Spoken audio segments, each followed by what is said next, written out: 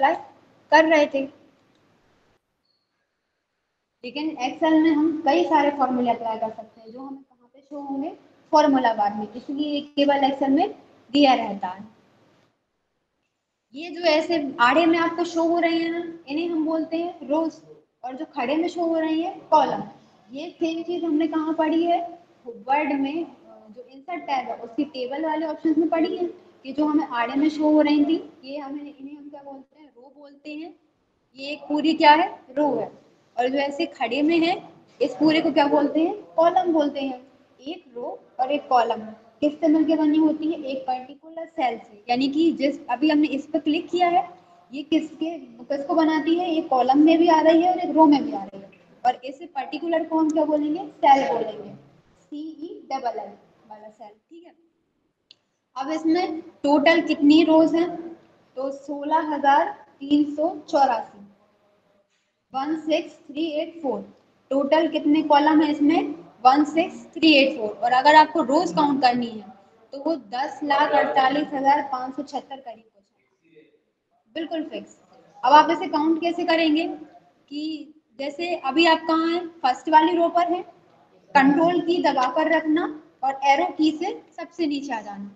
यहाँ पे number show कर आ रहा है। दस लाख अड़तालीस हज़ार पाँच सौ छिहत्तर। कितनी रो है हमारे पास? दस लाख अड़तालीस हज़ार पाँच सौ छिहत्तर। ये हमें ऑब्जेक्टिव टाइप क्वेश्चंस में पूछे जाते हैं। अगर आप कोई टेस्ट वगैरह देते हैं तो ये क्वेश्चन फिक्स है कि एक्सेल की एक स्प्रेडशीट में आपको कितने रो और कितने कॉलम मिलते हैं। तो दस लाख अड़तालीस हज़ार पाँच सौ छिहत्तर रो है और सोलह हज़ार तीन सौ चौरासी कॉलम्स हैं। कॉलम्स भी आप काउंट कर सकते हैं। आपने फ़र्स्ट वाले कॉलम पर क्लिक किया कंट्रोल के साथ जो राइट साइड वाला एरो है, उसको प्रेस करेंगे लास्ट वाले पे जाएँगे।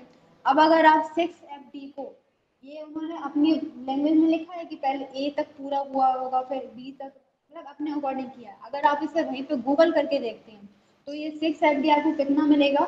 सोलह हज़ार तीन सौ चौरासी। ठीक है? तो ये वैल्यू भी आप लोग याद रखिएगा। अब इसमें क्या है?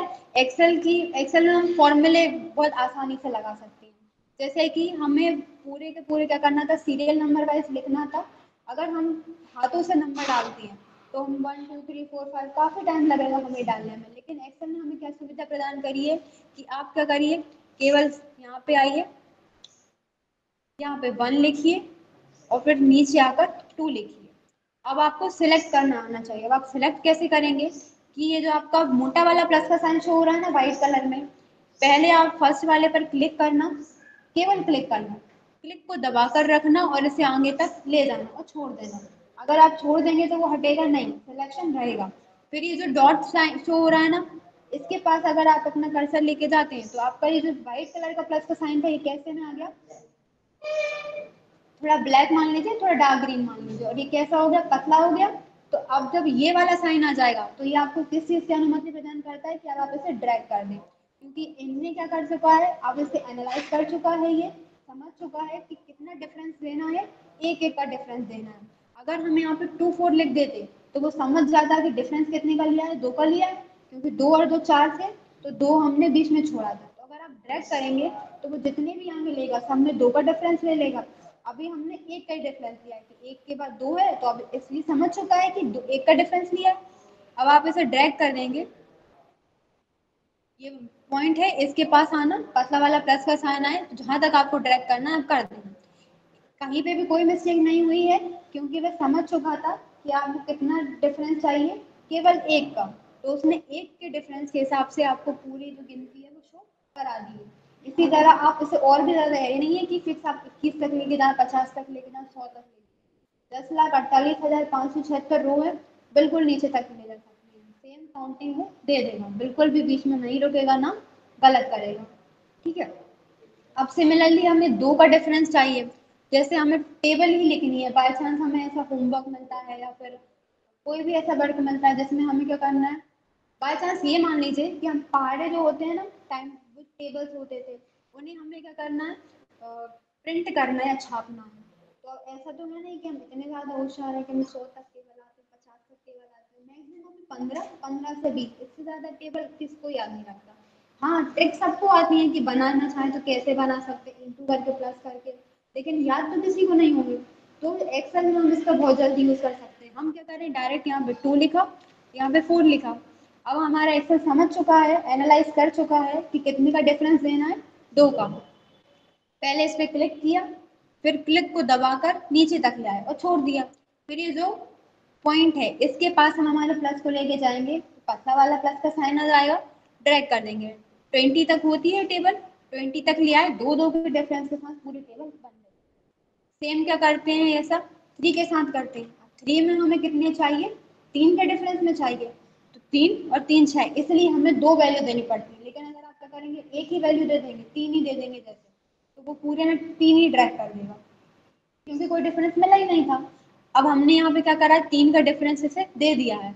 अब अगर हम इसे यहाँ पे ड्रैग करते हैं तो क्या होगा? पूरी टेबल तीन की डिफरेंस के साथ आ जाएगी। अब ऐसे ही अगर आपको चौथा बनाना है, पांचवा बनाना है, छठा बनाना तो अब आप क्या करेंगे? इतनी मेहनत करने की बिल्कुल ज़रूरत नहीं। केवल यहाँ पे टू पर क्लिक करना। जैसे आपने टू और फोर सिलेक्ट करा था क्लिक को दबा कर रखना और पूरा यहाँ पे थर्टी तक इसे सिलेक्ट कर लेना। अब यहाँ पे क्या पता चल चुका है कि टू के बाद थ्री मतलब कि एक एक का डिफरेंस लगेगा। और यहाँ नीचे जितने अकॉर्डिंग हमें ऊपर वाला नंबर दिया होगा कि जैसे चार है तो चार का डिफरेंस लगेगा। नीचे वाले पॉइंट पर आना और जहाँ तक आपको वो टेबल्स चाहिए, वो क्या करना, आप यहाँ पे ड्रैग कर देना। जितनी भी आपको चाहिए, जैसे बारह, पंद्रह, सोलह, अठारह, तेरह तक ले लेते हैं फ़िलहाल यहाँ पे। तेरह तक ली, बिना हमें ये भी नहीं डालना पड़ा कि चार के बाद आठ या फिर पाँच के बाद दस। डायरेक्ट हमने क्या करा, उन्हें नीचे साइड में डिफरेंस दिया ऊपर डिफरेंस दे दिया। पूरी टेबल अपने आप बनती हुई चली गई। ये होती है एक्सेल का यूज़ करने का फ़ायदा कि कितना मेहनत वाला काम था और वो कितने सेकंड में हो गया? बस दो सेकंड में हो गया। दो सेकंड चलिए दो मिनट में हो गया। दो मिनट भी बहुत ज़्यादा अगर हम इतनी मेहनत करते हैं तो दो मिनट उसके हिसाब से बहुत कम है। दो मिनट में हमने इतना ज़्यादा जो टिकी वर्क था, वो बहुत आसानी से कर लिया। ये सारी हमें एक्सेल में सुविधा प्रदान होती है। आ जाएगा ये?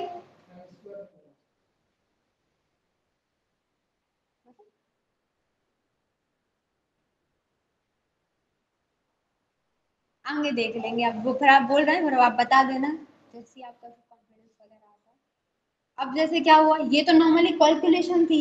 अगर हमें इसे प्लस वगैरह करना जितनी तक हाँ। ये इसकी लास्ट हो चुकी है। स्टार्टिंग में आ जाते हैं।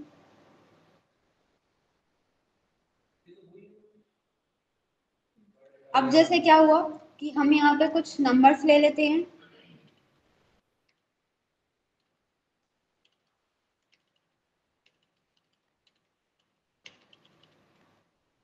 बहुत ज़्यादा स्टार्टिंग में तो ठीक है, हम तेईस और तेईस प्लस कर सकते हैं, ये फोर्टी सिक्स होते हैं बट आगे ये ऐसे नंबर आ गए हैं कि इन्हें प्लस करने में या तो कैलकुलेटर चाहिए, या बहुत टाइम लगेगा। अगर हमारा कैलकुलेटर भी है तो भी वो हमें मैक्सिमम बारह या सोलह डिजिट के बाद कैलकुलेट करके नहीं देगा क्योंकि उसमें उतनी लिमिट होती है। छोटा वाला तो नाइन डिजिट बड़ा वाला तो सोलह डिजिट वरना फिर फ़ोन चाहिए पड़ेगा लेकिन एक्सेल में क्या है? ये फ़ायदा है कि हमें ये भी हम एक सेकंड में कर सकते हैं। अगर आप कैलकुलेटर में भी करेंगे तो बस प्लस करने में टाइप करने में टाइम लगेगा। इसमें आपको क्या करना है? डायरेक्ट यहाँ से सिलेक्ट करके लाना है। सिलेक्ट करके एक वाले खाली कॉलम को छोड़ देना, ताकि उस खाली कॉलम में इनकी टोटल वैल्यू भरा जाए। और यहाँ पे ऑटो सम इस पर क्लिक करना। ये उन, इन सब का सम है। अगर आप इस वाली सेल पे आते हैं तो ये ए वाला कॉलम है ए वाले कॉलम की फ़र्स्ट वाली रो है। यहाँ पे आपको सेल एड्रेस सेलेक्ट करने जाता है। अगर आप क्या करते कि डायरेक्ट टू करते यहाँ पे फॉर्मूले अप्लाई करने के लिए मेन चीज़ क्या है? आपको इक्वल सब में लगाना अगर आपने इक्वल नहीं लगाया तो फॉर्मूले अप्लाई नहीं होंगे। अब आप टू लिखेंगे, फिर प्लस करेंगे सेवन फिर ये वैल्यू प्लस करेंगे, फिर ये वैल्यू प्लस करेंगे। इसमें क्या होगा? कि आपने जो वैल्यू प्लस करी है, केवल इसी का सम होगा?